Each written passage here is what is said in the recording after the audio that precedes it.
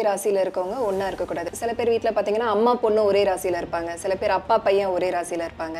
So அது அப்படி இருக்கலாமா? ஒரே ராசி ஒரே லக்கணத்தில் வந்து ஒரு குடும்பத்தை சேர்ந்தவங்க இருக்கும் பொழுது ஏதாவது பாதிப்பு இருக்குமா அப்படிங்கிற ஒரு சந்தேகம் அந்த மாதிரியான ஒரு பயம் நிறைய பேருக்கு இருந்துகிட்டு இருக்குது. ஒரு குடும்பத்தில் வந்து நாலு பேர் இருக்கிறோம் அப்படின்னா நாலு பேருமே நாலு ராசியை சேர்ந்தவங்க தான் இருப்பாங்க அப்படின்னு எதிர்பார்க்க முடியாது. ஒரே குடும்பத்தில் வந்து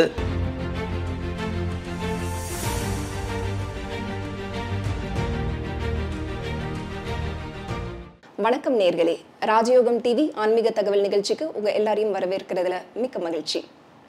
இந்த நிகழ்ச்சி மூலயமா நம்ம ஒவ்வொரு நாளும் புதுமையான ஆன்மீக தகவல்களை தெரிஞ்சுட்டு வந்துட்டு இருக்கோம் அந்த வகையில இன்னைக்கு மற்றும் ஒரு ஆன்மீக தகவலை தெரிஞ்சுக்க போறோம். அதுக்கு முன்னாடி நம்ம நிகழ்ச்சிக்கு ராஜயோகம் டாக்டர் கே. ராம் சார் அவர்களை வரவேற்கலாம். வணக்கம் சார். வணக்கம். சார் பொதுவாகவே வந்து ஒரு வீட்டில் ஒரே ராசி நட்சத்திரம் இருக்கவங்க இருக்கக்கூடாதுன்னு சொல்லுவாங்க. அப்படி ஒரு மித்து இருக்கு. ஒரே ராசியில இருக்கவங்க ஒன்றா இருக்கக்கூடாது. சில பேர் வீட்டில் பார்த்தீங்கன்னா அம்மா பொண்ணு ஒரே ராசியில இருப்பாங்க. சில பேர் அப்பா பையன் ஒரே ராசியில இருப்பாங்க. ஸோ அது அப்படி இருக்கலாமா? அப்படி இருக்கிறதுனால ஏதாவது பிரச்சனை வருமா? அதாவது ஒரே ராசி ஒரே லக்கணத்தில் வந்து ஒரு குடும்பத்தை சேர்ந்தவங்க இருக்கும் பொழுது ஏதாவது பாதிப்பு இருக்குமா அப்படிங்கிற ஒரு சந்தேகம் அந்த மாதிரியான ஒரு பயம் நிறைய பேருக்கு இருந்துகிட்டு இருக்குது. ஒரு குடும்பத்தில் வந்து நாலு பேர் இருக்கிறோம் அப்படின்னா நாலு பேருமே நாலு ராசியை சேர்ந்தவங்க தான் இருப்பாங்க அப்படின்னு எதிர்பார்க்க முடியாது. ஒரே குடும்பத்தில் வந்து ஒரு இரண்டு பேர் ஒரே ராசியை சேர்ந்தவங்க இன்னும் இரண்டு பேர் ஒரே சேர்ந்தவங்க இருப்பாங்க. இன்னும் சில குடும்பங்களில் மூன்று பேர் ஒரே ராசியை சேர்ந்தவங்க இருப்பாங்க. இன்னும் ஒரு சில குடும்பங்களில் அப்பா அம்மா பிள்ளை அதாவது பெண் குழந்தை எல்லாமே சேர்ந்து நாலு பேருமே ஒரே ராசியை சேர்ந்தவங்க இருப்பாங்க. அந்த மாதிரி இருக்கும் பொழுது இந்த ஒரே ராசியை சேர்ந்து நம்ம எல்லாம் இருந்துகிட்ருக்கிறோமே நாம் இருக்கக்கூடாது அப்படிங்கிறதுக்காக நம்ம பயப்பட வேண்டியதில்லை. அதாவது ஒரே ராசி அப்படிங்கிறது அமைஞ்சிருச்சு. அப்போ அந்த அமைஞ்ச ராசிக்கு வந்து நம்ம பயப்பட வேண்டிய அவசியம் கிடையாது. ஆனால் ஒரே ராசியை சேர்ந்தவங்க ஒரே குடும்பத்தில் இருக்கும் பொழுது தேவையில்லாத பிரச்சனை வருங்கிற பயம் எதனால் நிறைய பேருக்கு இருக்குது அப்படின்னு கேட்டிங்கன்னா சாதாரணமாக கோச்சார ரீதியாக ஜாதக ரீதியாக கிடையாது. கோச்சார ரீதியாக ஒருவருக்கு ஏழரச்சனை வந்ததுன்னு வைங்களே அதாவது ஜாதக ரீதியாக வந்து பலாபலன் அப்படிங்கிறது ஒருவருக்கொருவர் மாறுபட்டு இருந்துகிட்டு இருக்கும். ஆனால் கோச்சார ரீதியாக இந்த ஏழரச்சனை அப்படிங்கிறது ராசியை மட்டுமே மையமாக வச்சு வருவது. அப்படி ராசியை மட்டுமே கணக்கில் எடுத்து கோச்சாரப்படி வரக்கூடிய ராசியை மட்டுமே மையப்படுத்தி கோச்சாரப்படி வரக்கூடிய இந்த ஏழரச்சினை அப்படிங்கிறது ஒரு ராசிக்கு ஏழரச்சினை வரும் பொழுது அந்த ராசியை சேர்ந்த அனைவருக்குமே ஏழரச்சினை அப்படிங்கிறது ஆரம்பிச்சிருது. அப்போ ஒரே குடும்பத்தில் ஒரு நபருக்கு ஏழரச்சினை வரும் பொழுது அந்த ஏழரச்சினை கொடுக்கக்கூடிய கஷ்டங்களையோ அல்லது உலக அனுபவங்களையோ நம்ம தாங்க முடியறதில்ல அப்படிங்கிறது யதார்த்தமான விஷயம். அப்படி இருக்கும் பொழுது குடும்பத்தில் இருவருக்கு அதாவது ஒரே நேரத்தில் இரண்டு பேருக்கு வந்து ஏழரை அல்லது வந்து மூன்று பேருக்கு ஏழரச்சனையோ அல்லது மொத்த குடும்பத்துக்கே ஏழரச்சனை இருக்கும் பொழுது நாம் எந்த முடிவு எடுக்கணும் அப்படின்னு தெரியாமல் நிறைய பேருக்கு தேவையில்லாத குழப்பம் இருக்கும் அப்படிங்கிறது யதார்த்தம் வந்துட்டு இருக்குது அதற்காக வேணால் கோச்சாரப்படி சொல்லி வச்சுருப்பாங்க. அதாவது நீயும் ஒரே ராசி உன்னுடைய மகளும் ஒரே ராசியாக இருக்கும் பொழுது இருவருக்குமே ஏழரை வரும் பொழுது ஏதாவது ஒரு வகையில் பாதிப்பு இருக்கும். தாங்க முடியாத துன்பம் இருக்குங்கிற விஷயத்தை சாஸ்திரம் சொல்லி வச்சிருக்கு. எந்த சாஸ்திரம் ஒரே ராசியில் சேர்ந்தவங்க வந்து ஒரே குடும்பத்தில் ஒரே ராசியில் பல பேர் இருந்தாங்க அப்படின்னா அது ஏழரை காலத்தில் வந்து ஒரு சில பாதிப்புகளை கொடுக்கும்னு சொல்லி வச்சதோ அதே சாஸ்திரம் தான் அந்த ஏழரச்சனை வரக்கூடிய காலங்களில். அதாவது எந்த ராசிக்கு வந்து ஏழரச்சனையோ எந்த ராசிக்கு அஷ்டமச்சனையோ எந்த ராசிக்கு அஷ்டாசமச்சனையோ வரக்கூடிய காலங்களில் நமக்கு தேவையில்லாத குழப்பம் தேவையில்லாத தடை அல்லது தேவையில்லாத தாமதம் ஏற்படும் சாஸ்திரம் சொல்லி வச்சிருந்ததோ அதே அந்த கோச்சாரப்படி அந்த ராசிக்கு உங்களுடைய ஜாதகத்தில் ராசியை மட்டுமே கணக்கில் எடுக்காமல் உங்களுடைய ஜாதகத்தில் வந்து அந்த ஏழரை சனிக்கு உண்டான சனி பகவான் ஆட்சி பலமோ உச்ச பலமோ அல்லது குரு பகவானோடு சேர்ந்து நட்பு பலமோ இருந்தது அப்படின்னா அதே ஏழரை சனி காலத்தில் எண்ணில் அடங்காத மிகப்பெரிய ஏற்றங்களை நிச்சயமாக கொடுப்பார் அப்படிங்கிறது நிதர்சனமான விதி. ஒரு குடும்பத்தில் ஆணுக்கு வந்து இந்த ஒரு ராசியை சேர்ந்தவராக இருந்து அவருக்கு ஏழரை சனி வந்தது அப்படின்னு வைங்களே அப்போ அந்த ஆணுக்கு வந்து ஒரு ஒரு சில கஷ்டங்கள் ஒரு சில தடைகள் ஒரு சில அவமானங்கள் ஒரு சில பாதிப்புகள் ஒரு சில நஷ்டங்கள் இருக்கும் அப்படிங்கிறது யதார்த்தம். ஆனால் அதே ஆணுடைய ஜாதகத்தில் அந்த சனி பகவான் வந்து ஆட்சி பலம் பெற்றோ ஸ்தான பலம் பெற்றோ உச்ச பலம் பெற்றோ குரு பகவான் போன்ற நட்பு கிரகங்களோடு சேர்ந்து இருந்தது அப்படின்னா மிகப்பெரிய யோகத்தை அந்த ஏழரை சனியில் நீங்கள் எண்ணி பார்க்க முடியாத ஏமாற்றம் இல்லாத நல்ல நல்ல மாற்றங்களை நாளும் பொழுதும் கொடுக்கக்கூடிய சனியாக அந்த ஏழரை சனி மாறும் அப்படிங்கிறது தான் யதார்த்தம். பொதுவாகவே ஒரு குடும்பத்தில் வந்து ஒரே ராசியை சேர்ந்தவங்களுக்கு வந்து இந்த ஏழரை சனி சனி அப்படிங்கிறது வந்து பாதகமாக இருந்தது அப்படின்னா அந்த சனி பகவான் உங்கள் ஜாதகத்தில் நல்ல இடத்துல இல்லாமல் பாதகமான இடத்துல இருந்தது அப்படின்னா எந்த மாதிரி பாதிப்பு கொடுக்கும் அப்படின்னு கேட்டிங்கன்னா அதாவது அப்பாவுக்கும் ஆண் குழந்தைக்கும் பிதாவுக்கும் பிள்ளைக்கும் வந்து ஒரே ராசியாக இருந்தது அப்படின்னா ஏழரச்சனை காலங்களில் கண்டிப்பாக தடை அல்லது தாமதம் ஏற்படும். இருவருக்குள்ள யாராவது ஒருவர் வந்து பிரிந்து வேறு இடத்துல இருக்கக்கூடிய பாக்கியத்தை கொடுக்கும்.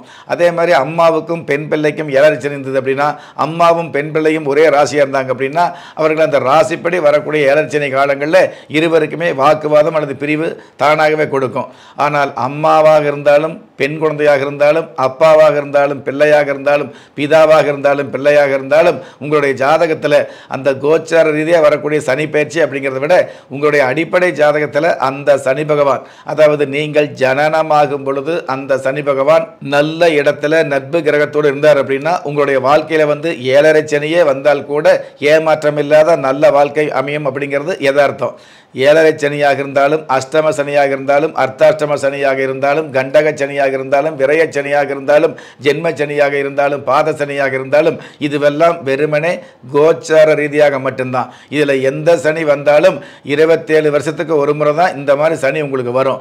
ஆனால் உங்களுடைய ஜனனகால ஜாதகத்தில் நீங்கள் பிறக்கும் பொழுது உங்களுடைய ஜாதக கட்டத்தில் சனி பகவான் எந்த இடத்துல இருக்கிறாரோ அதற்கு தகுந்த மாதிரி இந்த உலகத்தில் வந்து முன்னணியான முன்னேற்றங்களை நிச்சயமாக கொடுப்பார் அப்படிங்கிறது முத்தாய்ப்பான விதி. ஆக வெறுமனே பொத்தாம் பொதுவாக ஒரு குடும்பத்தில் ஒரே ராசியை சேர்ந்த இரண்டு பேரோ அல்லது ஒரே ராசியை சேர்ந்த மூன்று பேரோ ஒரே ராசியை சேர்ந்த நான்கு பேரோ இருந்தது அப்படின்னா அதற்காக அந்த குடும்பத்தில் வந்து நிறைய கஷ்டம் வரும் அப்படிங்கிற ஒரு எதிர்பார்ப்புக்கு ஒரு பயத்துக்கு நீங்கள் போக வேண்டாம்.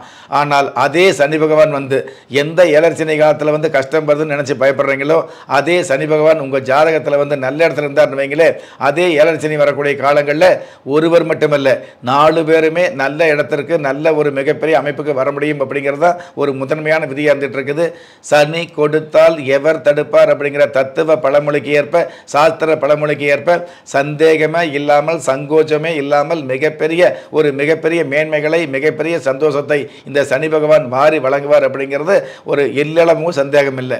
அதனால் பொத்தாம் பொதுவாக இந்த மாதிரி வந்து ஒரே ராசியில் இருக்கிறோமே அப்படிங்கிறதுக்காக நீங்கள் பயந்துக்க வேண்டாம்.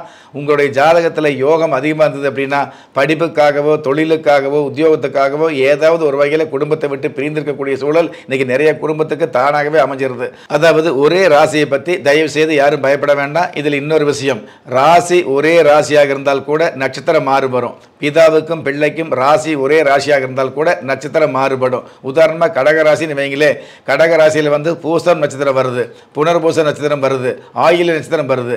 அப்போ இந்த மூன்று நட்சத்திரங்கள் மாறுபடும் இல்லையா? ராசி ஒன்று தான் ஆனால் நட்சத்திரம் மாறுபடும். அந்த மாதிரி உங்களுடைய குடும்பத்தில் அனைவருக்குமே ஒரே ராசியாக இருந்தால் கூட நட்சத்திரம் மாறுபடக்கூடிய சூழல் இருந்துகிட்ருக்கோம் அல்லது லக்னம் மாறுபடக்கூடிய சூழல் இருந்துகிட்ருக்கோம் அல்லது உங்களுடைய ஜாதகத்தில் எந்த ராசிக்கு சேர்ந்த கிரகத்தை நினைக்கிறீங்களோ அந்த கிரகம் ஆட்சி உச்சம் அப்படிங்கிற அமைப்பில் இருந்துகிட்ருக்கோம் இந்த மாதிரி பல்வேறு விதங்களில் ஜாதகம் மாறுபடுறதுனால உங்களுக்கு சாதகமான பலன் கிடைக்கும் அப்படிங்கிற விஷயத்தில் உறுதியாகவே இருந்துகிட்ருக்கலாம் இருக்கலாம். இதையும் மீறி உங்களுக்கு ஒரே ராசியாக இருந்துட்டு இருக்குது அப்படிங்கிற மனோபயம் இருந்தது அப்படின்னா அதற்கு உங்கள் நாலு பேருக்கும் சேர்ந்து ஒரே தெய்வமாக விளங்கக்கூடிய குல தெய்வம் அதாவது முதல் தெய்வமாக விளங்கக்கூடிய உங்களுடைய குலதெய்வ வழிபாடு அப்படிங்கிறது எந்த ஏழரை சனியாக இருந்தாலும் எந்த ராசியாக இருந்தாலும் ஒரே ராசியாக இருந்தாலும் உங்களை வந்து வேறு மாதிரியான மிகப்பெரிய முன்னேற்றத்தை கொடுக்கக்கூடிய ஒரு அனுகிரகம் குலதெய்வத்துக்கு இருக்குது அப்படிங்கிறது உண்மை. ரொம்ப நன்றி சார். நன்றி. பொதுவாகவே ஒரே வீட்டில் ஒரே ராசிக்காரங்க இருந்தால் நிறைய பிரச்சனைகள் வரும்ன்ற ஒரு பயம் பொதுவாகவே எல்லாருக்கும் இருந்தது. அது அப்படி இல்லை அப்படின்னு பொத்தாம் பொதுவாக சொல்லாமல் ரொம்ப தெளிவான விளக்கங்களோட அழகாக சொன்னீங்க. ரொம்ப பயனுள்ளதாக இருந்தது. நன்றி சார். நன்றி. நேர்களே இன்னைக்கான தகவல் உங்களுக்கு ரொம்பவே பயனுள்ளதாக இருக்கும்னு நம்புறேன். இதே மாதிரி இன்னொரு புதுமையான ஆன்மீக தகவலோட அடுத்த நிகழ்ச்சியில் சந்திக்கிறோம். நன்றி வணக்கம். ஒரு மனிதன் பெற்றோராலோ மற்றோராலோ உற்றார் உறவினராலோ கைவிடப்பட்டாலும் ஆன்மீகம் கைவிடுவதில்லை. ஆம் நல்லவர்களையும் நியாயமானவர்களையும் குலதெய்வம் கைவிடுவதில்லை. ராஜயோகம் டாக்டர் கே. ராம் அவர்களின் முப்பத்தைந்து வருட ஆன்மீக ஆராய்ச்சியில் தெய்வ பிரசன்ன சாஸ்திரப்படி உருவாக்கப்பட்ட ராஜயோக குலதெய்வ விளக்கு. முப்பத்து முக்கோடி தேவர்களின் மூல மந்திரங்களால் பூஜிக்கப்பட்ட ராஜயோக குலதெய்வ விளக்கு. இழந்த செல்வம் இழந்த கௌரவம் கலைந்த குடும்பம் தொலைந்த நிம்மதி திரும்ப கிடைக்க வாங்கி பயனடைவீர். ராஜயோக குலதெய்வ விளக்கு. கிள்ளி கிடைக்கக்கூடிய யோகங்களை அள்ளி கொடுக்கக்கூடிய ஆன்மீக அற்புதம் ராஜயோக குலதெய்வ விளக்கு. ஒவ்வொரு இல்லத்திலும் இருக்க வேண்டிய ஆன்மீக பொக்கிஷம் ராஜயோக குலதெய்வ விளக்கு. யோகங்களில் சிறந்த ராஜயோகம் தருவது ராஜயோக குலதெய்வ விளக்கு. திக்கற்ற யாவரும் ஒப்பற்ற பயன்பெற வாங்கி பயனடைவீர். ராஜயோக குலதெய்வ விளக்கு.